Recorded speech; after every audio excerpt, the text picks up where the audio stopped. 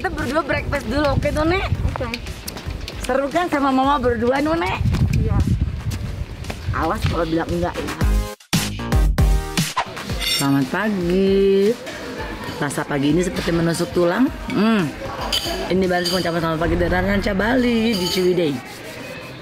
Jadi hari ini, ini hari kesekian sebetulnya kita ada di Bandung. Maaf. Nah, ke tempat sini juga ke glamping ini juga bukan kali pertama, bukan sombong, sumpah, bukan sombong. Ini udah kali kesekian, kali berapa coba?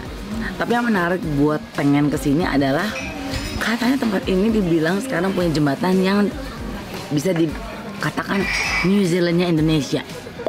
Buh. Yang ada di spotnya di situ. ini kenapa bisa ada di sini Manuel? Cikapu ini. Pikachu itu ya. Oh? Cikapu.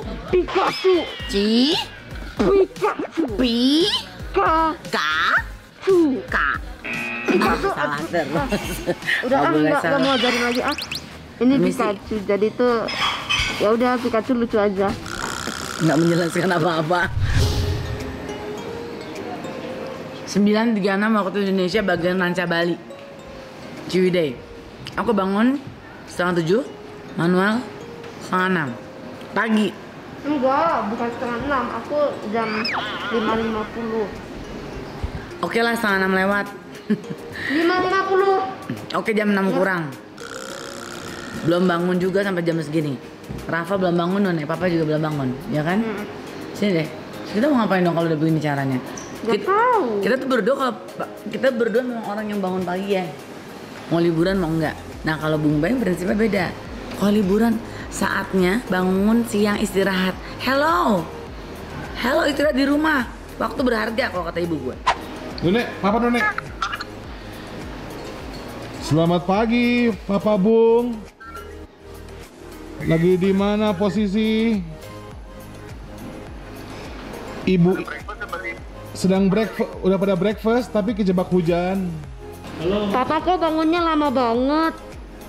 Papa udah bangun dari jam 4 pagi. Nam, Oh ya udah. ada di mana? Udah lama nggak ketemu. Udah bangun jam 4 tadi. terkadang sang istri tuh mencoba untuk mengerti dan sang suami juga mencoba untuk terserah hati. Jadi ya begitulah. Gue tuh suka paling gemes kalau liburan gitu ya bangunnya agak lama. Senangnya tuh biar bisa explore cuman kadang dia menang banyak. Kan dia bangunnya jam setengah sepuluh nih. Kita udah sarapan dari jam 7 jam 8 kan pas dia keluar dia gini ngapain juga bangun pagi? Kan hujan. Menang lagi. Kayak, kayak waktu itu. Waktu kita ke tebing keraton. Kan aku berharap ada maaf ya. Kita harus sampai tebing keraton itu gue berharap jam 5 ternyata memang ada kesalahan pengarahan jalan. Dia harus belok kiri ternyata kita satu mobil tuh jalan lurus. Terus anak aku bilang harusnya kita belok kiri tadi. Jadi kan muter balik kan? Uh aku udah emosi karena agak terlambat dikit. Pas sampai sana uh udah cemberut dong akunya. Eh ternyata memang bukanya dari jam 7 pagi. Menang lagi kan dia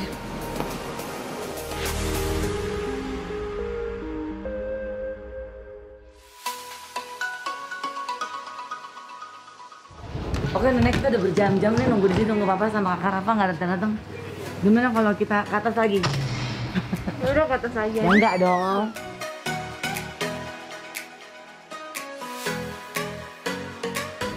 good morning. Papa Benny, Morning. Udah mandi. gimana breakfastnya? Hmm, Breakfast intent. enak sekali nasinya kering. Jam berapa sekarang nenek? 10.43. Good afternoon. Masih morning. Jadi good morning. Kita kan nunggu dari morning.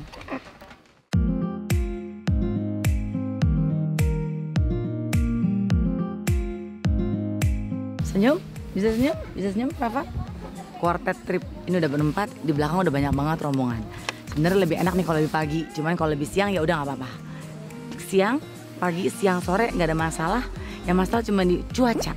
Cuaca juga bisa macam-macam, cuaca beneran sama cuaca hati. Sekarang kalau kita mau lihat banyak banget yang mau dinikmati sama quartet trip saat ini. Kita sekarang mau ke situ dulu deh. Pelabuhan. Oh, pelabuhan. kata mana? Cekidot. Yuk, let's go. Cekidot. Ini bawa anak liburan ya pemirsa. Liburan yang menghindari penerbangan sih agak PR juga sih.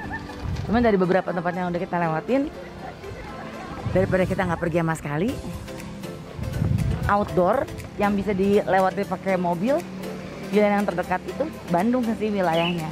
Terus salah satu pilihan yang emang jadi inceran gue itu memang di daerah Ranca Bali. Ranca Bali itu di daerah Ciwidey Pak Jawa Barat. Satu jam setengah kalau ngebut, kalau lama bisa tiga jam. Hah? Tutup. Kenapa tutup?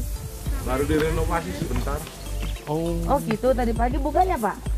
Kabarnya ibu malah baru Saya fresh. masuk ke dalam. Wah, ada yang jebol kali. Banyakan orang kali tadi pagi. Ceritain sih. Oh my god, cuma pengen bilang tiga huruf KZL. Kenapa? Hah? Tadi pagi waktu gua ke sini, ini belum ada tulisan kayak gini. Nah, jadi ini tempat yang menurut gue lumayan seru karena katanya New Zealand Indonesia.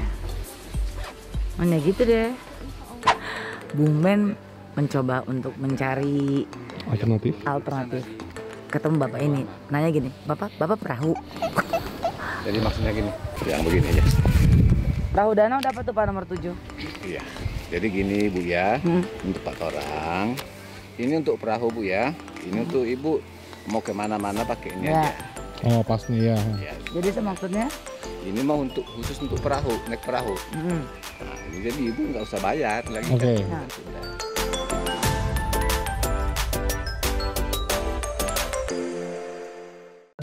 Waktu zaman ini, zaman-zaman Kenapa lo, Jo? orang-orang dulu ya, saya yang namanya orang-orang dulu itu kan orang-orang sakti Pak ya. Jadi kisahnya ini batu cinta ini itu antara pertemuan Dewi Ranggani ya sama Kisantang. Bukan Kian Santang, ya, Kisantang. Oh beda ya? Beda. Kisantang itu kan menurut cerita saudaranya Prabu Siliwangi. Oh, Ya, jadi kisah- keluarganya Prabu Siliwangi. Iya, Oke. pamannya Prabu Kian Santang. Oh, jadi Kian Santang itu justru malah si eh, ponakannya ya? Iya, termasuk keponakan. Berarti tetap ada mereka ada turunan Dari dengan Prabu Siliwangi. Oke. Iya. Iya, iya, iya. Hmm. Jadi katakan batu cinta ini gini, karena memang pertemuannya mereka dulu di sini. Pertama ketemunya di sini. Ya sekian puluh tahun ke belakang, ya ketemu lagi kembali. Nah, jadi akhirnya mereka itu ya karena mereka berjodoh gitu ya, mereka jadi jadi kalau patengan itu dari patengan yang tadi, jadi kita dibilang kali patengan cari mencari kan. Oh, patenggang itu artinya di pat- patengan terus apa patengan kan cari mencari. oh cari mencari. Nah.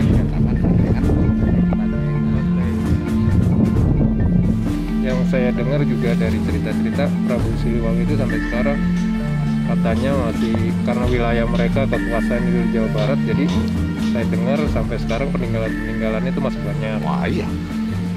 Kemudian Ya, ada sampai ke Sumedang sana, ke Garut, ke mana-mana. Ya namanya Jawa Barat aja. Hmm, Ya. sama ada cerita yang katanya dia legendnya itu kan dia harimau ya Pak Memang iya. Bukan legenda.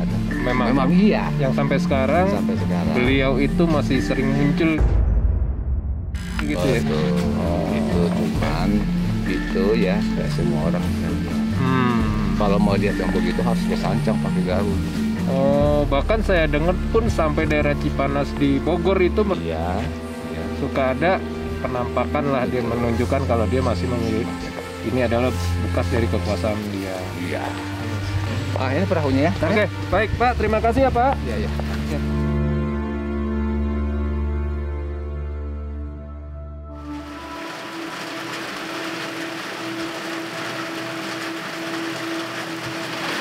Manis nggak senyum aku? Mencoba untuk bisa manis meskipun cuaca nggak gitu manis ya, tapi ya begitulah adanya. Ada lagi. Hatiku sih ingin seperti lampu di atas. Oh, yang ngelip. Pengennya demikian.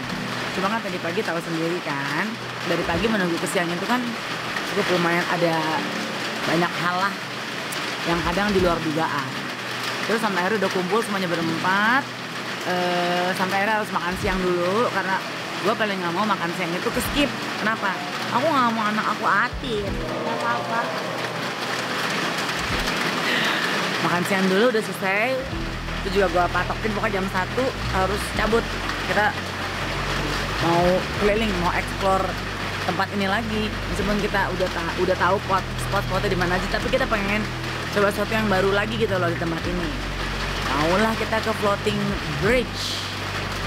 Eh ditutup. Sabar. Terus bertanyalah si Bung kepada bapak perahu. Bapak perahu bapak yang bantu untuk kita ke tempat perahu. Udah siap? Nunggu dulu karena kapalnya aku nggak mau yang dayung. Kenapa? Kasihan bapaknya. Kalau dayung kita semua kalau sendiri kan aku sama baby sharknya aku. Nanti lihat ya yang kemarin itu jatuh dia kasih bapak dayungnya. Jadi aku maunya naik motor. Eh naik motor. Perahu bermotor. Pas udah mau datang kapal bermotornya eh mau datang hujan. Nggak jadi lagi deh. Udah hari ini aku udah minum bandrek udah 5 gelas. Mudah-mudahan gula stabil ya. Uh, guys, aduh, seperti ini sekarang cuacanya kayak begini. Eh, sebetulnya plan kita tadi ingin ke floating, tapi ada kendala juga di floatingnya. Ternyata kemarin badai besar, terus rusak, jadi ada maintenance, ada perbaikan. Nah, tadinya kita mau lanjut tuh ke floating ke arah yang lain, ke arah eh, glamping yang baru. Tapi ternyata di tengah jalan kita ketemu orang nawarin perahu. Eh, sambil berjalan, pas banget nyampe ke sini kapalnya udah dateng, badai lagi, hujan lagi, jadi kita harus nunggu di sini.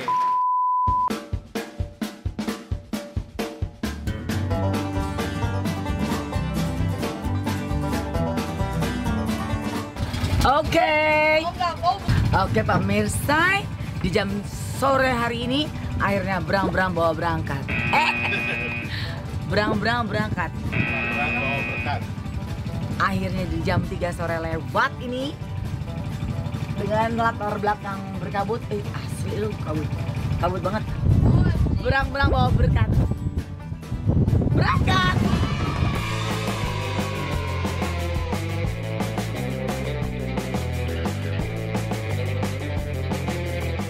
Jadi ada satu pulau tengah-tengah danau situ Patenggang itu disebutnya tanah merah. Terus ini cagar alam. Bener nggak sih? Ini ya? Kalau yang di depan kita itu namanya bala kasap. Bala kasap. anu, Bala kasap ini gini bu ya. Hmm. Ah, itu namanya tuan bala kasap. Hmm, Itu orang. Belanda. Oh gitu. Nah, jantan disebut bala kasap itu kan karena memang makamnya di sana. Kalau yang di tengah itu menurut cerita orang-orang tua ya, Hmm. itu kan pulau pak. Hmm. Nah, dulu waktu zaman-zaman Jepang ya, Hmm. zamannya Jepang itu asalnya kan masjid. Karena memang dulu ya kalau menurut kata orang-orang tua ya, yang namanya orang Muslim ya Iya. kan selalu ditekan oleh orang-orang Belanda dulunya katanya gitu. Iya. Makanya sampai ya, sampai terbengkalai. Akhir-akhirnya si masjid itu udah hancur ditanam lah ini. Kalau dongengnya itu ya, ya kan bentuk katanya bentuk hati ya. Si pulau itu. Nah, pulau itu. Soalnya gini, eh, yang di depannya, itu yang lancipnya itu ya, itu bekas paimbaran masjidnya dulu.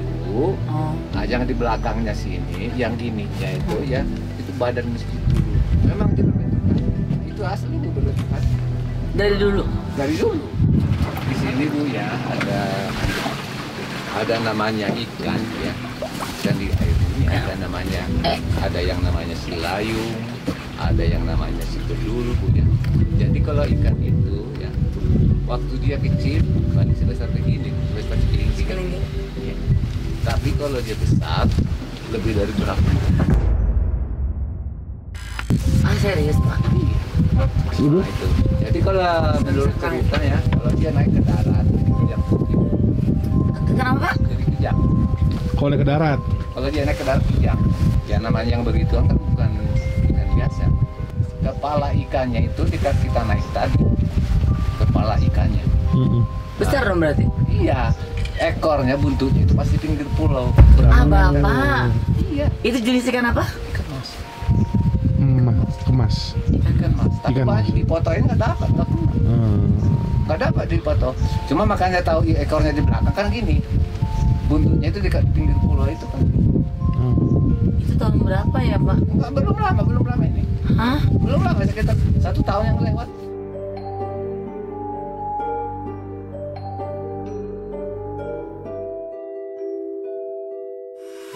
Ini sekarang lagi persiapan mau car camping ya. Nah, kamu mana yang ngomong? Yang mana ngomong? Kenapa mau car camping? Karena car camping itu kayak eh, rasanya sih kayak eh, mirip hotel kapsul. Jadi aku mau ya mau coba car camping aja gimana rasanya. Heeh.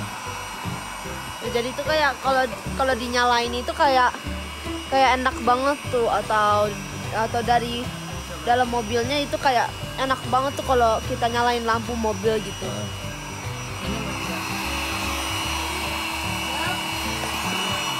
Aku mau coba new experience-nya. Ini bubur sama mama aja. Ya. Udah aku pengen sama kakak gimana ya?